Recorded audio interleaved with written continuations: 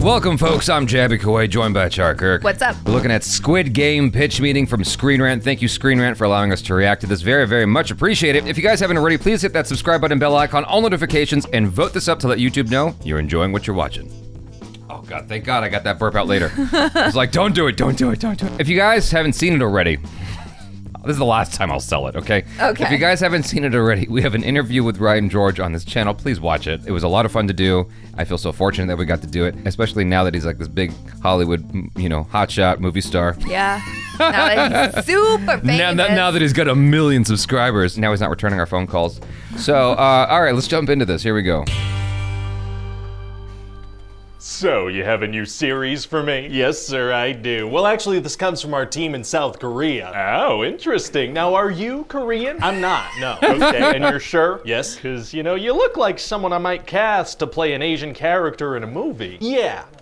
And, you know, please stop doing that kind of thing. well, no promises. So tell me about this show. Well, sir, it's called Squid Game. Okay, so this is like in the Shark Tale cinematic universe? Ah, well, actually, no, sir, because that's not a thing that exists. Interesting, interesting. Yeah, so this is a show where a bunch of desperate people play in children's games for the chance to win a bunch of money. How much money are we talking? 45.6 billion. Whoa. South Korean won which is also a lot in US dollars. Okay, great. Awesome. so we're gonna follow this guy named Gi Hun, right? Yeah, absolutely okay. no and he idea. owes a bunch of money to loan sharks. Yeah, from Shark Tale. Nope. And so after a guy in a suit slaps him around in a subway station a little bit, he gets invited to participate in this event that can help him clear his debt. Oh, getting slapped around by a guy in a suit is tight. Okay, and so he gets picked up in this van and some gas knocks him unconscious and he wakes up in this weird place with a bunch of other people. Oh boy, and so what's the deal with this place? Well, everybody's in a numbered tracksuit and there are very angry PlayStation buttons watching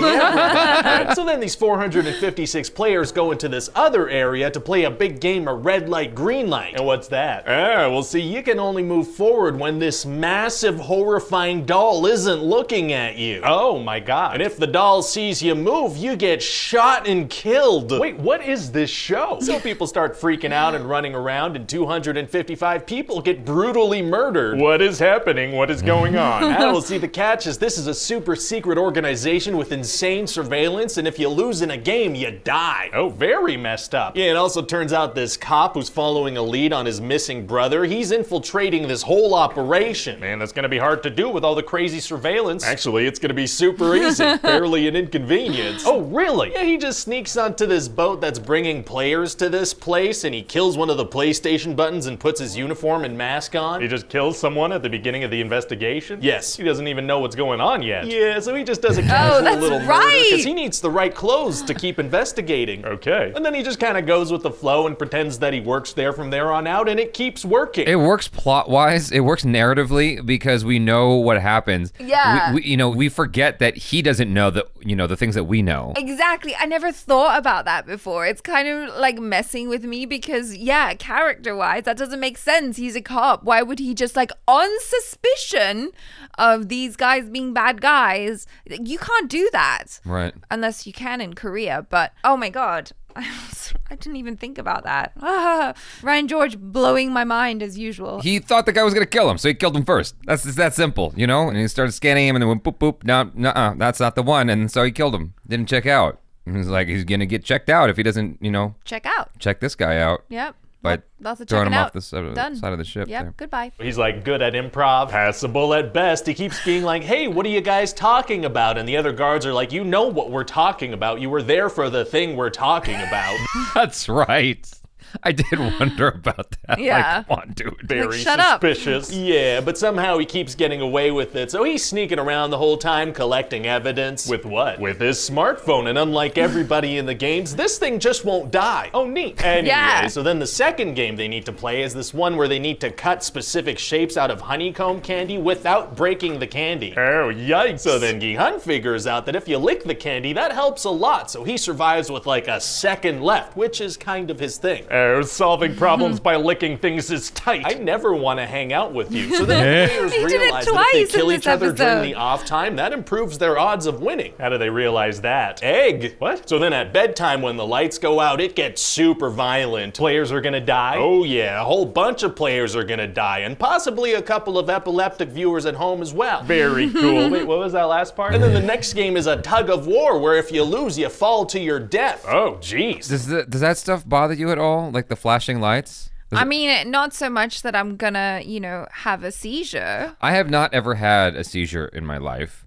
But every time I watch one of those scenes, like in Titanic, when Jack and Rose are trying to get out from the bottom of the ship, you know, and the lights are flashing in their face, Mm-hmm. I do wonder if I'm gonna have a seizure. Just like that, I just just because I've never had one doesn't mean I can't. I think Like- because you're a hypochondriac that your brain starts messing with you. I mean, it's not pleasant. It's uncomfortable. it, that's that's the point. It's supposed to make you feel unsettled and uncomfortable. Don't do that. Oh, jeez. Yeah, so pretty much all the main characters are on one team, and then a bunch of random people are on the other. Oh, man, I wonder what team is gonna win. oh, well, get this. The team with all the main characters wins. Oh. Yeah, the team with all the random, unimportant characters we don't know, that team doesn't win. Oh, man, I did not see that coming. Very unpredictable for sure. So then after that, they're gonna play the marble game. What's that one? Well, everybody has to pick a partner, right? And then they find out that with their partner, they have to play whatever marble game they want, and the loser dies. Oh, no. So there's this Ali guy who's just the sweetest man, you know, not the brightest, but super loyal. Oh, man, yeah, that sounds like a great guy. Yeah, so he gets betrayed and shot in the head and dies. Oh, ouch, that hurts right here. And this girl from North Korea bonds with someone seemingly for the first time in her life. It's very nice. Oh, that's nice. Wait, no, one of them's gonna die. Yeah, so then her new friend gets shot in the head and dies. Oh, I don't like how this episode makes me feel. And also, Ethan's teamed up with this sweet old man, and he ends up having to take advantage of this man's dementia in order to survive. Oh, boy,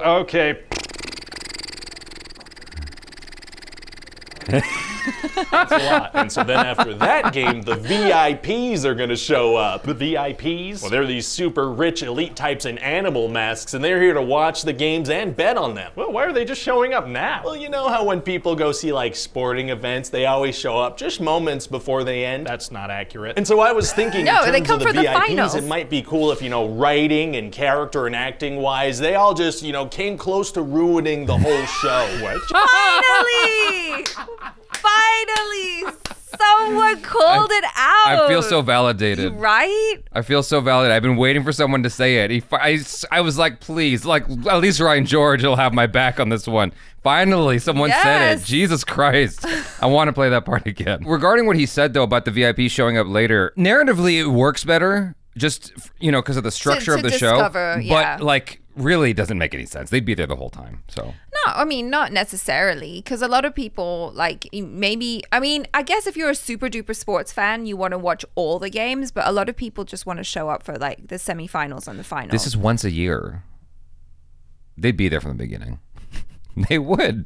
You know what I mean? Fair point. I was thinking in terms of the VIPs, it might be cool if, you know, writing and character and acting wise, they all just, you know, came close to ruining the whole show. What? Just bring everything down several notches. I thought that might be fun. I guess. So then for the next game, they need to cross this super long bridge with pairs of glass panels, each made of tempered glass or regular glass. Oh, and they need to try to step on the tempered glass with every step? Exactly. There's no other way they could get across. What are the panels held up with? Some long beams on which they can definitely cross. Yeah, Okay. I did think that. I was kind of like, well, I mean, if you kind of wanted to cheat and you were good at balancing, you could just walk on the metal beams that are holding Oh up yeah, and wobble across. and just like kind of try not to fall down. But I figured that maybe if you tried to do that, you'd just get shot. Yeah. I don't know. Some, well, they should have could be like- shown someone trying at least. yeah, though. at least someone someone going like, what if I just you know walk down the middle? And so then eventually by the final game, there's just the main guy and his childhood friend left, and they need to play the Squid Game. That's the name of the show. It is. what are the rules of this game? Barely matters, because they're pretty much just gonna fight to the death. Oh. And his friend ends up killing himself, so Gihun wins. Oh, he does. And that cop finds out that this secret masked guy who is like running the whole game, it's actually his missing brother. Wait, how long was his brother missing? Oh, well, see, he missed his last rent payment, so that's what sent the cop on this search. This guy's running a massive secret organization and he doesn't have a system in place to pay his rent? That's what we're going with. So That's right. to not, you know, create suspicion. He Yeah, doesn't or maybe give- maybe he just messed up that one time because it seems like he's been doing this or for a little maybe while. Maybe he doesn't care. Maybe he just doesn't care. Yeah. Maybe he wasn't thinking about it. But he also had a card in his apartment. Yeah, I, hopefully, we'll have our questions answered in season. Yeah, yeah, yeah. So then the cop gets shot in the shoulder and falls. Falls where? All the way into season two if necessary. Okay, so does Gihun use all the prize money to pay the families of the people that died? No, he doesn't do anything for a full year. He just goes back to the life he was living, doesn't spend any of the money. Well, what happens to the debt he had with the loan sharks? Unclear. well, okay then. True. So then somebody from the Squid Game organization wants to get in touch with him because it's weird that he's not spending the money at all. How did they get in touch with him? By having somebody sell him a rose that has a secret little card in it. The main thing they know about him is that he's not spending any money at the moment, so they get in touch with him via a transaction. That's right. That works for me. So then there's going to be this big twist where we find out the guy who started the games is that old guy. oh, I thought he was killed during the marble game. Ah, but see, we didn't actually see him die, so he must have had the guard like fire the gun next to his head or something, and Gihun wasn't watching. well, what if Gihun hadn't turned his back? How did he intend to fake his death? I don't know. Fair enough. So then we find out the whole reason this guy started the games in the first place. oh, and why is that? Ah, he was bored. Oh. Okay. And so then the old man dies of a brain tumor, and Gihun decides to use the money for good. Nice. And hair dye. What? And then at the end, it seems like maybe he's gonna try to take down the games instead of taking care of his daughter. Oh, okay. And so that's about it. What do you think? Well, it sounds like a good series, you know, and you think we can properly translate and dub this thing from Korean? Yeah, maybe. Oh, I read some comments from uh, Korean viewers um, who left comments on our videos. They were saying like certain words have double meanings. Uh-huh. So, you know, it's just hard to translate when you're not a native speaker. So, Okay. like, but that's, that's, you know, true of any time you watch a movie with subtitles. You just have to accept that you're going to miss out at least, you know, 10, 20% of the meaning. That's But- true. of Just English to American. I'm like from England. Oh, like from England? Yeah, Yeah. yeah, yeah. I mean, yeah, you, See, I you did a double joke there. a double joke. Okay. sure. I mean, Yeah. Americans talking to other Americans sometimes don't know what the fuck they're saying, and so Yeah. Yeah, it gets no. even worse when you go abroad to the UK. You're like, what was that? I know. Uh, try try Scotland, then you're all like, "What the hell is everyone talking about? What is all this slang?" Yeah, I wasn't lost in Scotland. you were And lost in London. I was lost in London. Oh, okay. You kept saying go on the tube. I'm like, what?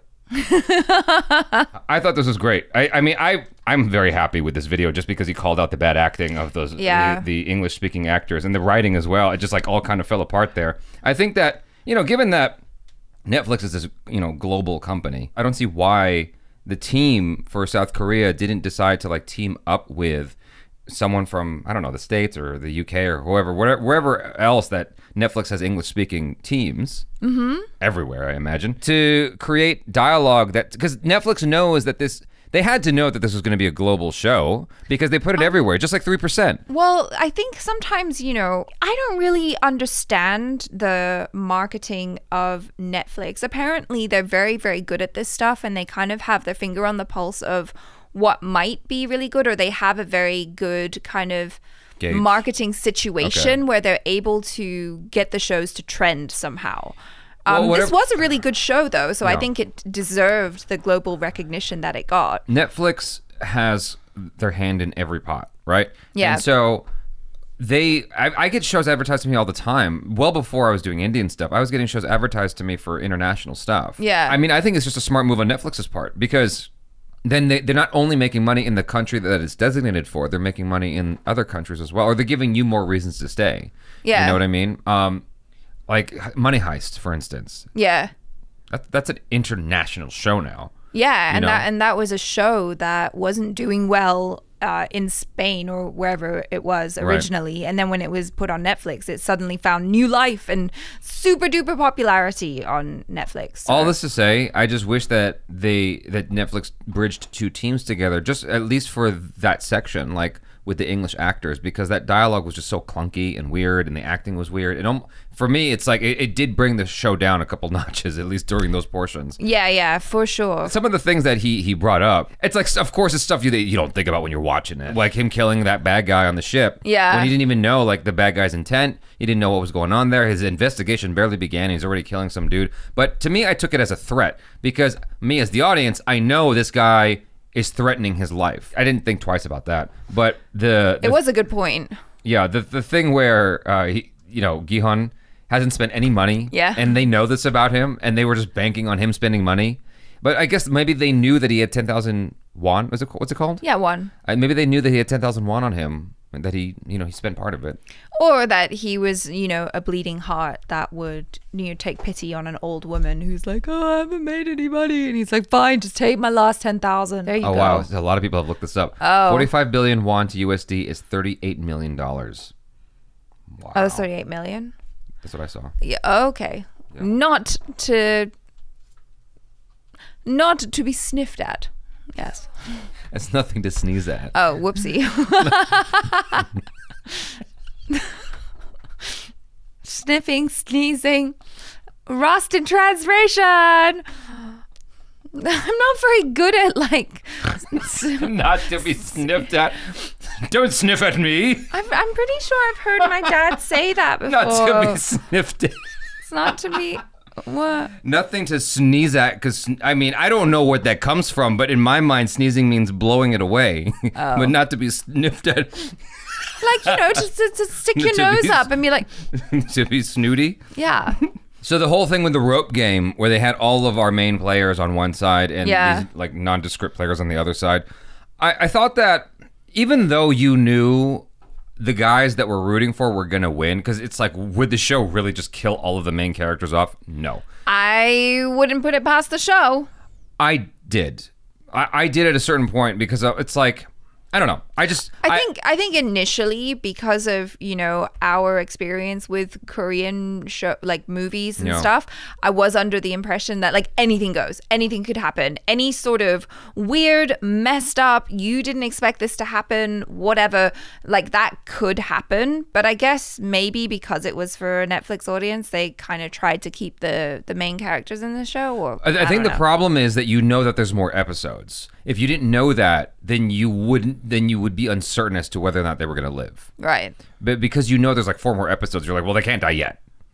We just can't. And they put all the main characters together, so they're like, okay, they can't kill all of the main characters off that we know. Right. It's just They're saving that for for the Marvels episode. it's just so unlikely. You know what I mean? Yeah. It- it's just it's highly unlikely that they would do that um, because of what was happening up to that point. They certainly surprised me with the Marbles episode, though. Like you just said, like that that certainly caught me off guard. I'm like, whoa, they just they were saving like you. Okay, you. I didn't hear you honestly. You said I thought you said Marvels episode and just nodded along. I'm like, yeah, yeah. I don't know what that means. I'm not sure what Marvels I'm is. pretty sure half the time you hear sounds coming out of my mouth and you just nod, you know, just No, like just nod and smile, nod and smile. Mhm. it, it clicked, and I'm like, oh, that's what she said. Marbles. Yes, that's right. I said marbles. Yes, it sounded like Marvels.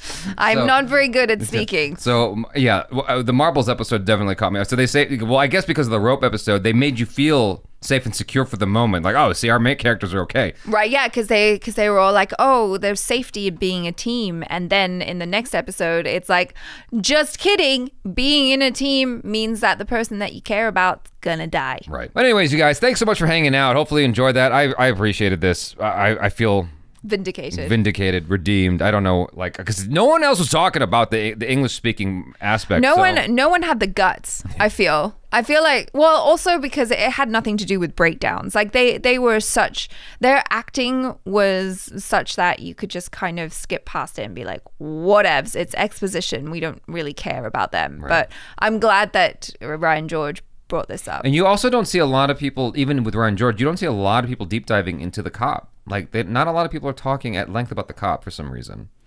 I think it's because you know we spent so much more time uh, with the other characters and like we really cared about them a lot more.